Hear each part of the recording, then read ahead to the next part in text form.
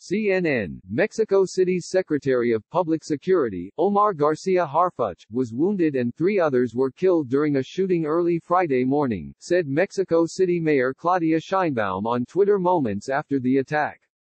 A woman and two police officers died in attack on Garcia Harfuch's motorcade, Sheinbaum said. Garcia Harfuch is in good condition and recovering at a hospital, according to Sheinbaum.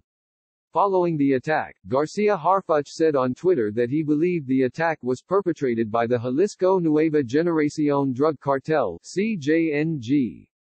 This morning we were cowardly attacked by the CJNG. Two colleagues and friends of mine lost their lives, I have three bullet wounds and several shards.